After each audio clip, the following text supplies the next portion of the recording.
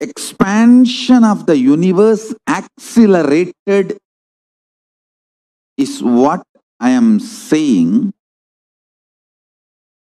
as superconscious breakthrough happening.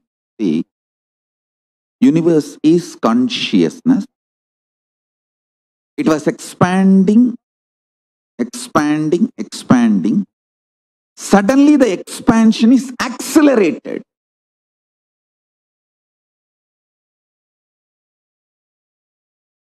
It is not the happening of the physical component alone. No. The happening is conscious. The place where the atheists and spiritual scientists differ is atheists are trying to say this whole cosmos is just accident or coincident of materialistic happenings. People who know the truth, rishis, inner scientists, who knows the cosmos from the great Hindu tradition. Not only they are declaring very clearly, I tell you, all my disciples, I tell you from my personal experience. I am telling you my personal experience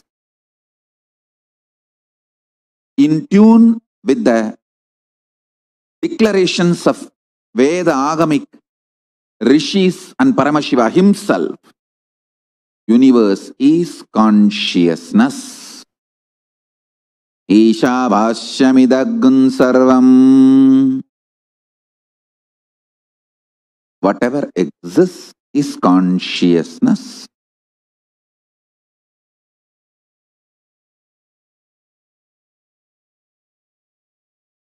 The superconscious breakthrough is what the scientists are telling expansion is accelerated. Understand? The greatest good news for all my disciples. You can use this opportunity to get enlightened, to reach Kailas.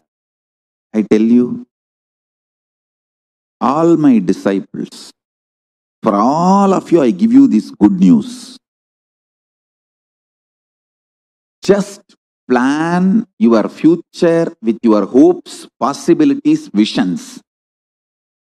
Drop any fear. You do not have fear. You are not going to live your fears.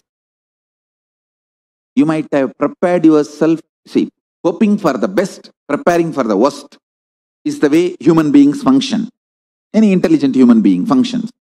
But for you guys, I tell you, just hope for the best and go on working for your best. You have no worst. All my disciples, I should say, whoever is ready to listen to me, whoever recognizes my identity and ready to listen to me, to all of you I am talking. Understand? Universe is going through a powerful superconscious breakthrough. Enjoy your future plans, hopes, visions, possibilities. Go on working for it consciously. Drop all the fears, delusionary blind spots. Listen carefully. Fears,